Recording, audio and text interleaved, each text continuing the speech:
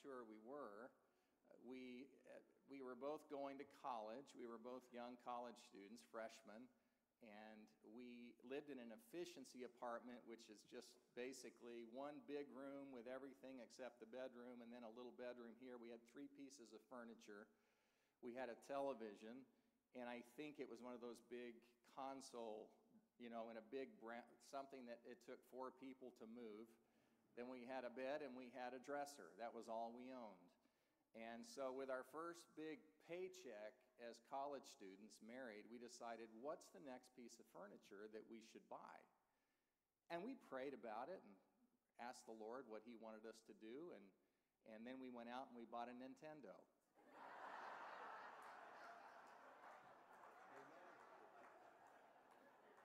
and we sat on the floor and played Nintendo because we didn't have a chair. So we were ready for marriage, as you can tell. But Christy has been a wonderful life partner these last 40 years with me, and, and I'm thinking about the ordination this afternoon and the spouses that will be standing with those who are being ordained. And there's just no way that it's possible to do it without a partnership, and Christy has been that. We have three grown children, and uh, here's a little bit about, to show you them. Some of you ask, How can I pray for you? And outside of praying for the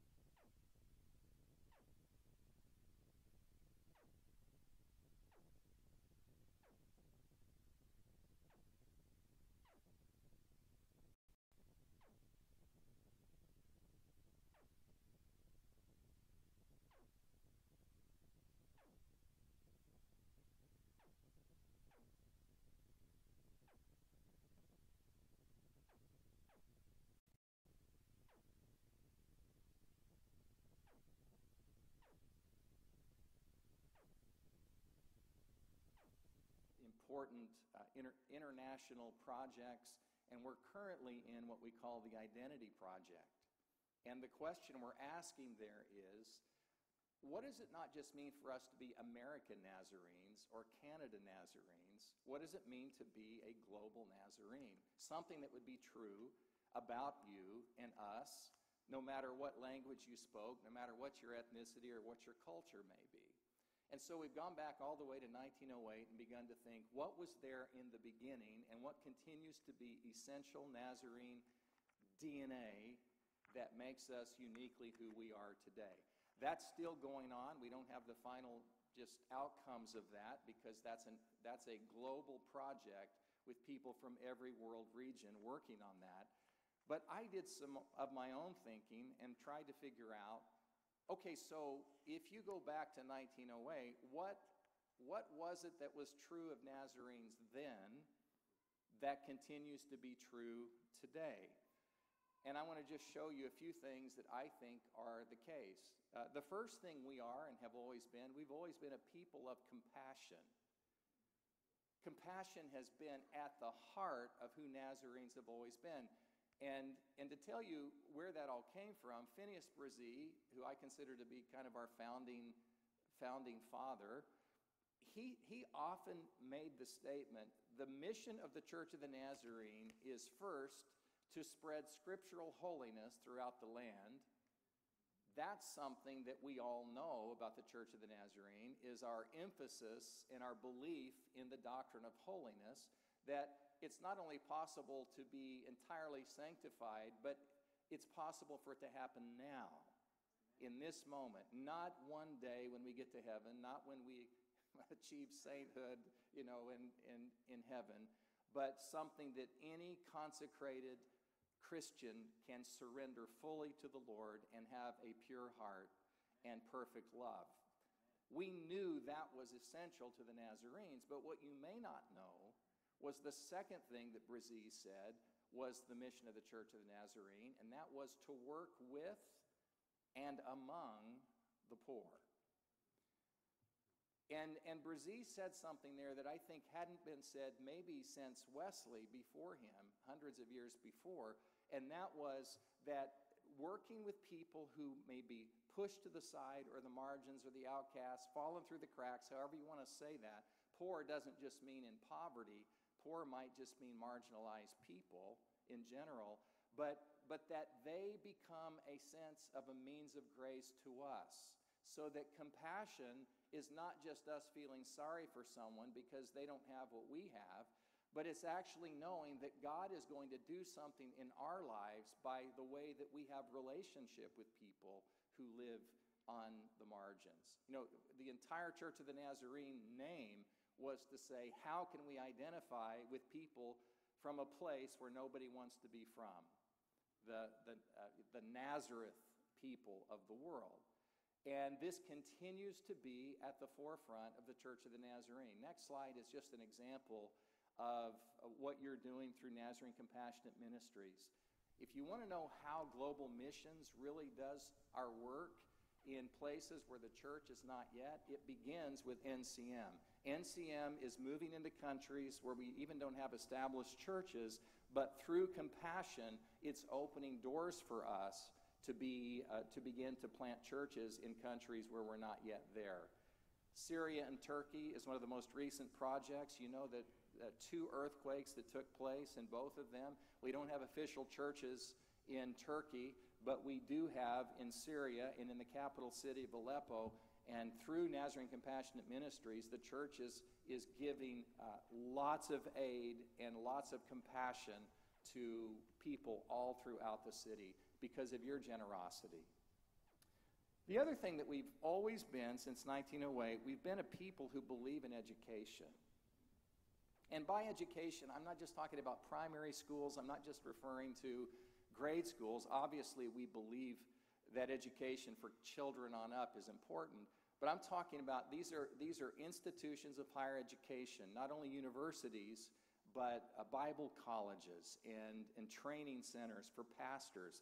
We have 52 Nazarene institutions of higher education around the world. So you know about Olivet, you know about NBC, you know about NTS, but you may not know that we have universities, uh, large universities in other parts of the world as well. And we have from the beginning believed that our mission was not just to, to save people's souls, but to also uh, bring help to their bodies through compassion and to raise their minds uh, to be spirit led people, to be flourishing in the places in which they live. We believe that when people receive an education, they're given opportunities to be able to be salt and light in the world in ways that perhaps they could not have been otherwise. So we care deeply about edu- we think in fact, I'd go as far as to say places like Olivet are part of the plan for Nazarene discipleship of our young adults. That's a, that's a part of how we think about the ways we want our educational institutions to be part of discipleship. Next slide. This is something that's always been true of us. We've always believed in the importance of youth and children. We, that seems like an obvious statement, but you should know that not all denominations put an emphasis there. And not only that, in many parts of the world, children especially are not valued and not even counted in churches. That because until they become an adult, they're not like helpful. I'm not sure all the reasons for that. But, but Nazarenes are emphasizing, even in cultures where children are not valued, the importance of discipleship from a very early age. I think you're aware of the fact that, that in the USA, 85% of people today who are Christians in the United States became a Christian before the age of 18. 85%. That's a staggering number. And the number goes, in those over 30 who become Christians, I think it's something like 5%. 5% of people become a Christian in the United States after the age of 30. So we, we want to begin very early with our children, vacation Bible school, Sunday school, uh, caravans, whatever it is that you can do to help holiness discipleship to become, to begin to help our children to be uh, directed by Scripture and by the church instead of just adapting to culture, that's part of the way we disciple our children. This next picture is a fun one for me. This is Christy and I deep in the Amazon jungle. We had been going down the Amazon River for about three or four hours. We were lost in some tributary somewhere in the middle of the jungle, and we our boat came up, it hit the sandbar, and we stepped out on the sand and walked into the jungle, and there was a child development center sponsored by the Church of the Nazarene in the middle of nowhere. And, and here's some of the children that we had a chance to interact with. Again, everywhere you go, children and youth are emphasized in the Church of the Nazarene. It's amazing to me if people say, you know, we're losing this generation. If you believe that's actually true, did, did you know that not everything you read on Facebook is true? Just want to be sure you knew that. If, if you think we're losing a generation, you should have seen 10,000 students at NYC just from USA and Canada, 10,000 students. And I think your district, uh, what did we have, Tim, from NYC to go to NYC? 49, So, uh, so 150 ministerially speaking uh, went to NYC. And that probably didn't include the sponsors, right? No, there's 48 sponsors. I knew that exactly. Okay, all right. So, so thank God for the emphasis with youth and children. The other thing we've always believed in that's been a part of Nazarene identity is missions. And you'll notice I, I messed up on this slide. I, I didn't mean to say mission because we all have a mission that's common, and that's to make Christ like disciples in the nations. That ought to be the mission statement of every church of the Nazarene around the world. I mean, you can add your own if you want, but it's pretty clear we all have a mission. But missions is what I meant to say with an S, because missions is different than the mission. Missions is specifically that enterprise of the church designated to go where the church is not yet and to reach unreached people groups, uh, to go into all the world. And so we have called missionaries. We have a global missions department in the Church of the Nazarene. And we have had from the beginning. Next slide is one of my favorite archive pictures. This is Dr. H.F. Reynolds, one of our first two general superintendents, who was really responsible for the missions initiatives in the early days, going to India, going to Cape Verde, going to Swaziland, going to China. Those were early places where we went as missionaries in the Church of the Nazarene. Here he is. I think this is about 1911 or 1912. I don't know for sure. But he's traveling the back roads of India in some kind of an ox cart. I will never again complain about a 10 hour van ride if this is the way general superintendents used to travel. So, this, this is how important it was to Reynolds. In fact, J.B. Chapman, his very first missionary kind of trip, tour, he was gone 10 months.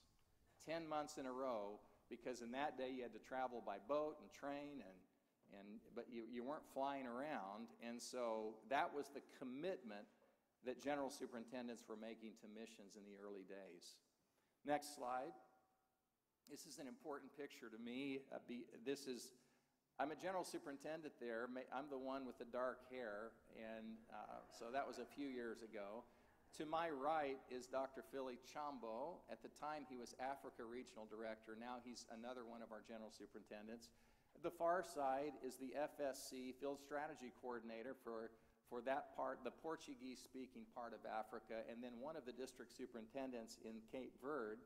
But in the middle, that's the person I want to emphasize. That is the president of Cape Verde, the country. It could be I think they now call themselves Cabo Verde, and but Cape Verde, the Nazarenes have been there more than 100 years. There's 100,000 Nazarenes in Cape Verde, the country, and it's not a big country. The reason I'm in this place with the president is he heard I was coming into the country, and he said, he gave me an invitation to come to their White House. Now, he's not a Nazarene, and my assumption is he's a Christian, but I don't even know that for sure. The reason he wanted me to come is he said, I want to personally thank you for the impact the Nazarenes have had on my country. He said, When you came to our country more than 100 years ago, you came in Nazarene missionary boats. It was the only way you could come here. And our country was chaotic and, and we, we didn't have direction. But he said, Not only did you bring hope through the church, he, was, he wasn't using our language, but he said, Hope through the church but you also brought us a way to live. And we have organized our society around what those early Nazarene missionary boat people offered to us. In fact, the next slide, he then reached out his hand and gave me this coin. He said, This is a common coin for us in Cape Verde. This is as common as your quarter. Every Cape Verdean has one of these in their pocket. And he said, To commemorate and honor the coming of the Church of the Nazarene to our country, we have put on the back of this coin the Nazarene missionary boat to remind the people of the impact of your, of your church. I thought that was a pretty cool thing. That's, it's been true of us from the beginning. We're always thinking about, about people out away from us. Now, next slide. We still commission missionaries. This is Dr. Gustavo Crocker and one of our general superintendents, and here he is commissioning new uh, global missionaries for the Church of the Nazarene from our general board in February of this past year. A couple of things I want you to see about this. First of all, Dr. Crocker is from Guatemala. The others on our board, we have one from Cape Verde, we have one from Mozambique, we have one that was born in Germany, and we have two from the United States our newest elected uh, general superintendent, we have our very first South American who is from Colombia, Dr. Christian Sarmiento. You know, Dr. Scott Daniels was also elected. But I, I show you this because the Board of General Superintendents ourselves reflect the diversity of the church. There's no mandate from the, you know, the, the manual that says you have to elect people from around the world to be general superintendents, but that's what the church has decided to do. This group of missionaries, the reason I show you their picture as they're being prayed for, every single one of them are from somewhere else besides USA and Canada. We still send a number of people, commission them from USA and Canada to be missionaries, but more and more and more, in fact, more than 50% of our missionaries now are being commissioned from other world areas. And guess what? Some of them are coming as missionaries to the United States. How many of you know we need missionaries in the United States? And I'm going to guess here, but I'm going to say five to six different languages are spoken here by, by this group. By the way, I, I bring two language, languages to the Board of General Superintendents. I'm fluent in English and Oklahoman, but that's another, that's another thing. But I think that's an answer to our prayers, is that we, this is the kind of church we hoped and prayed we would be when we put our focus on missions. Next slide. This is a picture of the 1928 General Board. And uh, there's some very distinguished Nazarene leaders in this picture. I know they look unhappy, but I think they were happy on the inside. Uh, Dr. J.B. Chapman is on the front row, second from the right. Uh, a few over is Dr. Reynolds, he's right in the middle, and then Dr. Goodwin, another general superintendent, and R.T. Williams is next to him. So that's a pretty distinguished group of Nazarene people. Now I want you to see a picture of the current 2023 General Board. Not only the difference in the number, but also the diversity, men and women, also uh, people from every region of the world. Put them side by side, and you'll get a picture here of what, it, what it's, has happened to our church over these last uh, number of years. I think that's to the glory of God.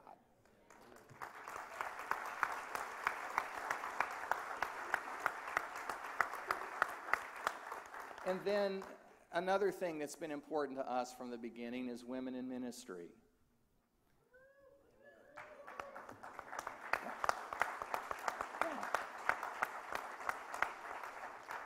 You may think that the Church of the Nazarene is doing it now because it might be a trendy thing, but actually not. It's, it's always been in the DNA of our church. You may not be aware of this, but in 1908, when the Church of the Nazarene merged three denominations into one at Pilot Point, there were actually closer to 20 holiness denominations in the country that Bresee was talking to. And they were all wanting to merge to strengthen their holiness presence in the United States. So, why did only three choose to merge while 17 chose not to? There was a variety of reasons, including a few theological reasons.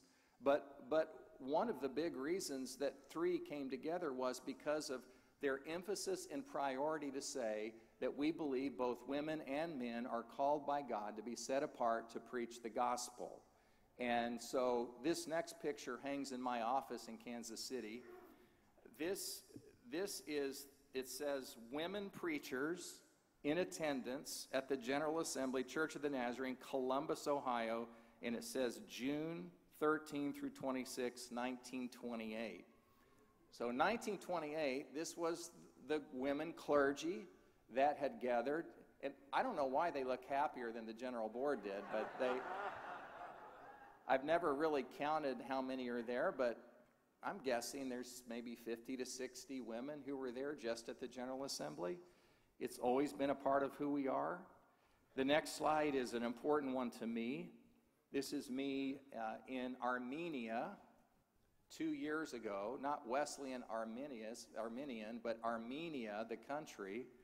And the person behind me is Jim Ritchie. He is the regional director for Eurasia. He's from Scotland. He's a tremendous leader. The person to the far side is Trino Jara, and Trino is the field strategy coordinator for Northern Europe and also the district superintendent for Armenia. And the two women in the middle, I had the privilege of ordaining when I was there. They are the first two women to be ordained in the Church of the Nazarene in Armenia.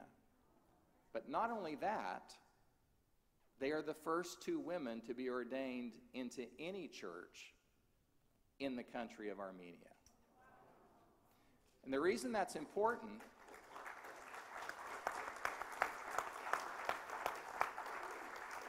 I mean, it's very easy for us to kind of get kind of tunnel vision and think that, you know, the social issues that we deal with here in North America and Western Europe, maybe that that's the main issues. But when we're talking about doctrinal issues for the Church of the Nazarene, we're not just talking about this and this and this. We're also talking about uh, emphasizing women in ministry. I was just with them last year again, and I, I asked them, How was this year for you? And they said, This was a really hard year. Uh, it's been filled with a lot of rejection. We've been asked to leave a lot of meetings, uh, you know, other uh, with other church leaders, and because we're just not welcome in those places. And I, we prayed for them in their district assembly, and we just said to them, when you're pioneers, you, you, have to, you have to navigate some rough waters for those who are coming behind you. But I said, thank you for being pioneer women, women in ministry in your country. Next slide has something to do with women in ministry, but also has to do with something else. This is Maria Tomas. I ordained her in, in Brazil a, a few years ago. And when I ordained her, she was 90 years old. I, I, so just in case you were thinking I'm too old to follow the will of God for my life, you go, go talk to, to Maria Tomaz about that. I just saw her son at General Assembly. He's the district superintendent there. And he says, My mom's doing really, really well. She's still leading in her church. She's like 94, 95 years old now. But Maria Tomaz, the oldest person that in my ministry to, to ordain. Next slide Ukraine.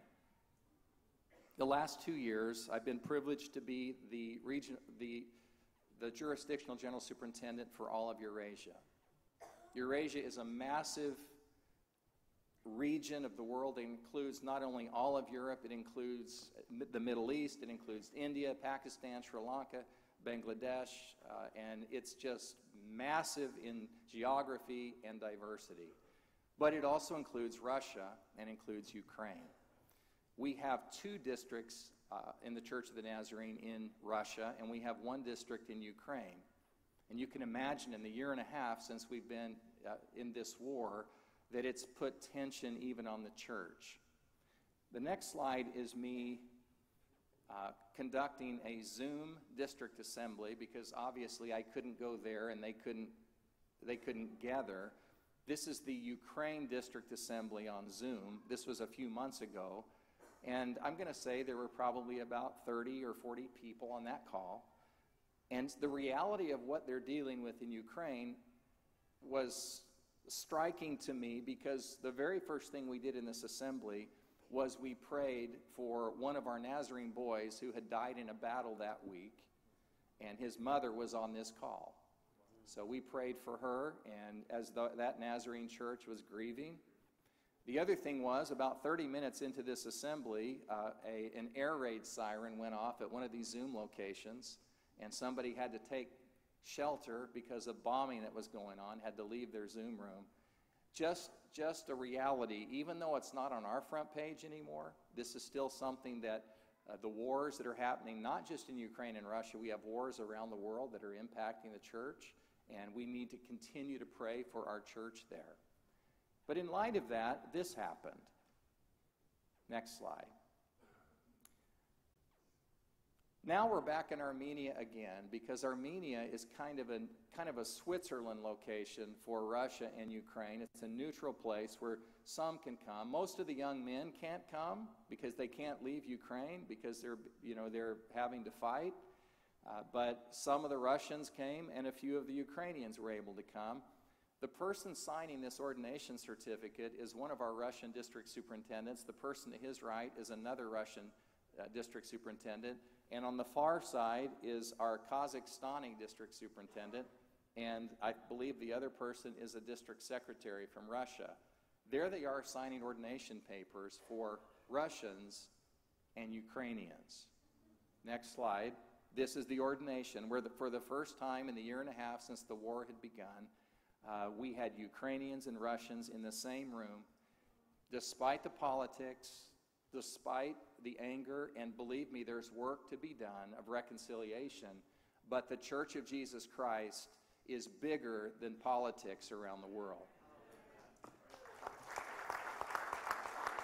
Next slide uh, is a picture of us doing training on Nazarene identity, and Jim Ritchie there is in the front. And my favorite picture here is the, is the next one. This is, this is us on the last day we were there And we went on kind of just a sightseeing day, and we went to an old, old, old cathedral in the mountains. And here we are, Ukrainians, Kazakhstanis, and Russians all together. And we were in the tabernacle area, and one of the Russians reached out. He took my hand, and then he took the hand of a Ukrainian next to him, and the whole circle gathered, uh, holding hands, and began to sing in our own language, How Great Thou Art, just as an, a sign that we are going to get through this together. Pray for Russia and Ukraine. Next slide. This, for me, is what I call a myth buster slide. There's a, there's a very common narrative going around the church today, and here's what the narrative is The U.S. and Canada, our big job is to pay the bills for global missions, but, but the real action is outside the USA, the real mission action. And, and that the Church of the Nazarene in USA Canada is, is mainly plateaued and in decline, and we're kind of a dying church, etc but, but we can still write the checks. Have you heard that before? I want you to look at this slide and tell me if that's true. This is 2022 just for the USA Canada Church. So last year, not the, not the rest of the world, 5,219 local churches of the Nazarene in USA Canada. 29,078 people came to Christ through a Church of the Nazarene in USA Canada last year. Not only that, 19,116 people joined the church, and we planted 94 new churches. That's we have 78 districts, so that's more than one per district. And these are not PACs, these are not mission preaching points, these are actual baby churches that were planted by the Church of the Nazarene following a pandemic year. And look at the generosity. More than $64 million was given to global missions efforts by USA Canada. I don't know what you think about that, but that doesn't feel like a dead church to me. Now, let me, let me just say this. Let's, our district superintendent did a good job last night of, of speaking reality in with the good news. So let me give you some reality. Of course, we have churches that are plateaued and in decline. Did you know that the average life cycle of any church in the United States is 40 years? the average life cycle. So, in all denominations, 40 years is 50% or more of, of churches. If your church is over the age of 40, you're already in the minority. So, if you're 70, if you're 90, I pastored a church that was over 100 years old. We were seeing the best days that we'd ever seen, and, at, at 105 years old. So, here's the thing churches do die. Churches do have life cycles, and there are some churches we need to let go to heaven. And we need to celebrate what God has done in that life cycle of that church because they've had an impact on the kingdom. And we need to celebrate and throw a party and, and have a, have a God glorifying burial. But churches don't have to die. Churches can reset, churches can be renewed.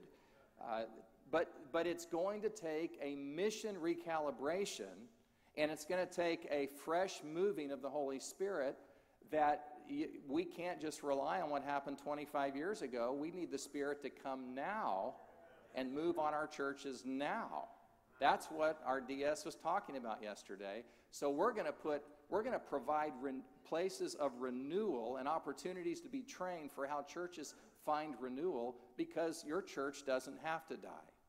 But if you're not renewing, you're going to go through the normal life cycle and you will begin to dwindle, you will begin to plateau, and at some point, your church will eventually close your doors. But you don't have to. The other thing is, I want you to see about this if we're not planting three to four times as many baby churches as we are we're closing churches, if, if it's a one for one, that's the definition of a plateau. And, and so not only do we need to have we need to have the two coined emphasis renewing of local churches and planting baby churches So, will you say, well, we tried that before, and we've closed a lot of churches that just didn't make it? Of course you did. That's how church, that's how life cycles work.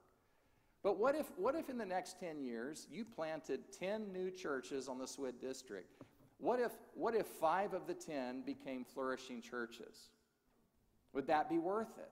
Of course it would, because that's how, that's how the church continues to work. So, so we don't need one or the other. We need church renewal and we need church planting, and we go hand in hand on that. Now, the last slide, I, am going to go one more actually. Uh, General Assembly was amazing.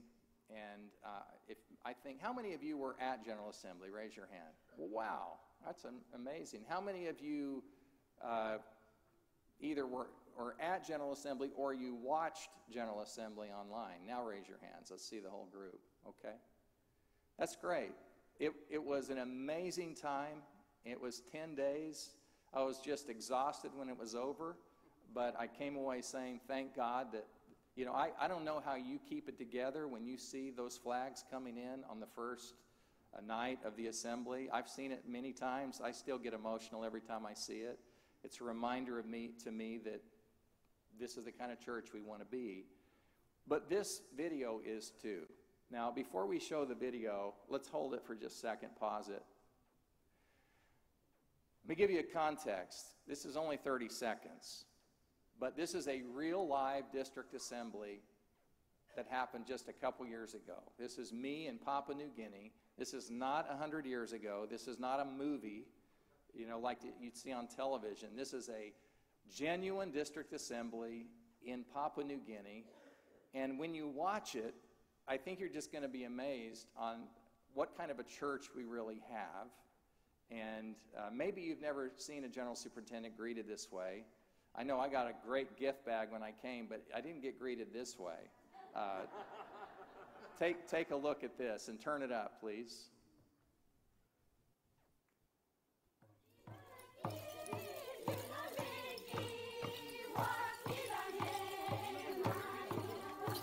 Lady Warriors.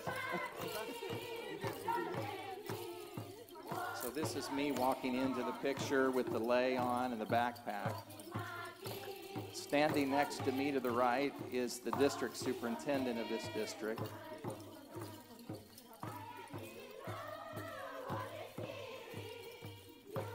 The people are singing, Thank you for bringing the good news to us.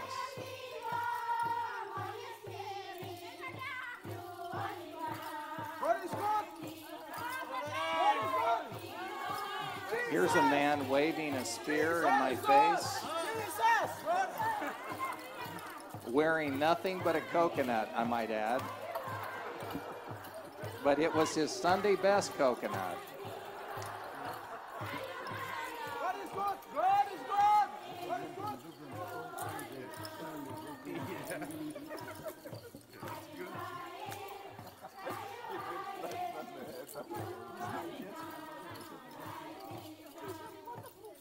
All right. Isn't that a beautiful video?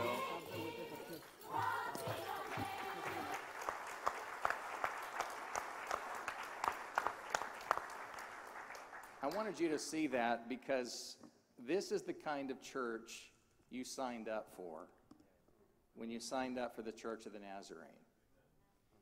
We are, we are a very diverse church. And, and these, I, these may feel like strangers to you, but around the world, I, I just want to tell you people in every country ask about you. They ask, How is our church in America doing? They think about you, they pray for you. Uh, they've, they've told me many times we're so thankful for the U.S. church, for the way that they've enabled us to, to come into the Church of the Nazarene. They kind of see you as the mother church. They watch you on social media, see what you're talking about. And what does it mean when someone at a place like this walks up to me holding a chicken in their hands? I've, this has happened, live chickens, and said, Please take this and give this to the World Evangelism Fund. And I said, Christi will put that in her suitcase.